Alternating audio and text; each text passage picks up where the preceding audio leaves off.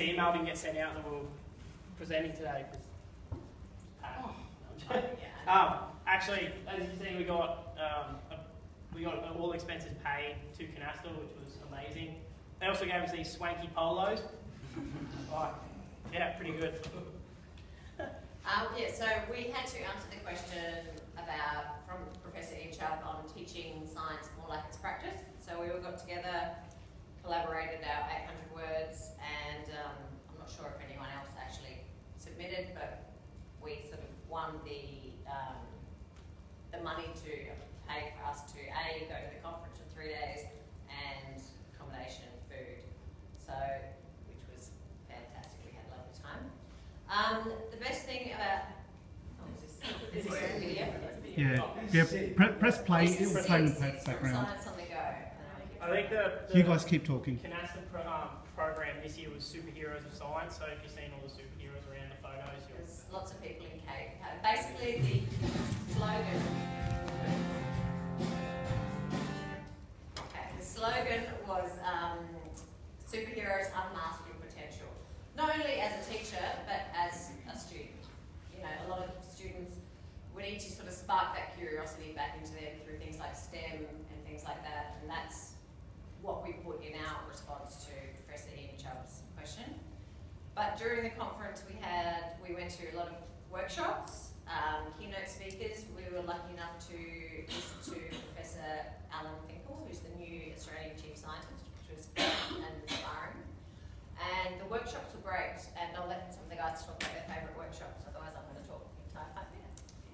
Um, so I attended a marine science workshop.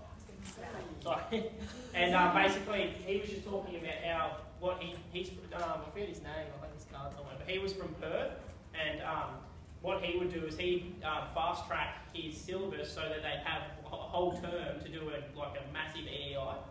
And uh, the one he did was using a like an electromagnetic pyramid to grow a like a faux coral, uh, faux um, reef. And yeah, so he'd go and get all the kit, they would prepare it all together, and then he'd go out and drop them out in God knows where, some some area that he had to get permission from the Queensland government to actually drop them out there because it was so remote. And then he would go out, get the results, come back in, and then the students would actually tabulate the results and analyse the results. It was really, really cool. He did a couple more. He did one with the uh, dolphins and how dolphins interact, and so they attach sonar to their legs and uh, would listen to the dolphins interacting with each other while they're. Yeah, the humans that stand in the Oh, water. the humans' legs, so they, yeah. Obviously not the dolphins' legs. um,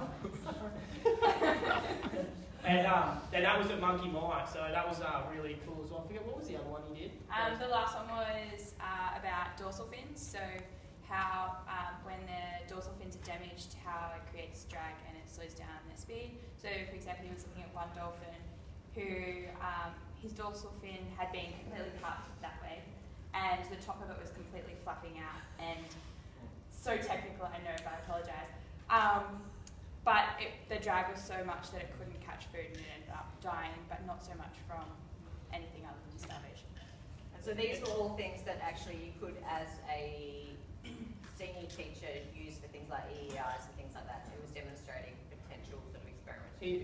At his school, his school's pretty pretty good for like from what in my opinion, they actually have like 3D printers and like what was it like a water tube thing that and they put dye in it to make it to mimic the drag and actually printed off little dolphins with like the one with the normal fin and then one with a fin like I forget the dolphin's name, but they had a name for him. But yeah, it was really cool. And actually, I was actually surprised they had a 3D printer at there. Um, school. Sort of exiting. Um, so my favourite thing that I went to was um, uh, like a, a thing run by WASP. So basically, they're a um, like an organisation that does lots of. Um, it was basically based around geology, so they do like all of your like geology stuff from grade seven to twelve. Um, yeah, so it was just really good for resources. Everything that you went to, lots of people gave you lots of stuff. So I find that like it was really really helpful for now. Um, I just walked into my leading day last week, and um, somebody that I was there with was like, you have to teach a bunch of agricultural science. Um, so I went to um, like one of the presentations that was on GMO.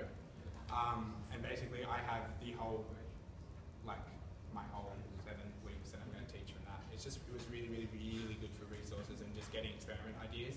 Um, WASP was my favourite one that I went to because we got to eat during it. Um, she did lots of like um, like slips and fault lines and stuff with lollies. Um, you got to do like the whole Tim Tam thing where you drink the milk and stuff through that. So that was really cool. Um, but it just gave you lots of ideas for stuff you can do with the students. Because I never had to buy a USB again, they gave Oh, me yeah. many USBs. And it was like, you we walk got past, you go, take a USB, and then like throw it at you. It was just ridiculous how many. Took Like, look at all. We, we had a bit of a competition on who could actually obtain the most um, merchandise as you're walking around the stands. So um, we both we all came out with bags, and all of the USBs had resources and things like that. We made contacts. Everyone made fun of me, but I had networking business cards, and we had a we actually had a, com- a competition as has to happen. I could hand out. But for you guys as well, it's like twenty-seven dollars from Vistaprint to get a networking card, which has just got your details and you know put your face on it. So if you go to the teaching fair and things like that, to hand these out is actually a really good thing. People will remember you from that, so it's, it's worthwhile doing. Although you all made fun of me. Yeah, but everyone remembered her, which was good. Yeah.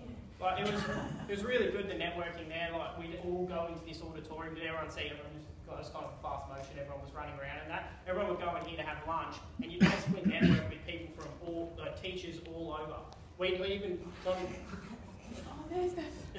and um, which and also other than that, we would you could then go to the workshops, which was the more serious side of the CONASTA, and you'd actually learn a lot in these workshops. I, I yeah, personally, my, the marine one spoke to me. That wasp one was perfect. There was heaps of things that I wouldn't even think of, like heaps of experiments I wouldn't even have thought of that were there. Like, um, like he was saying the Mars bar with the fault, like so you can see how the fault lines move, and she's like, oh, you, you know, use the Mars bar to do it, and it was really cool. They also fed you their donuts. With syringes of jam in them. Yeah, so, very sort of um.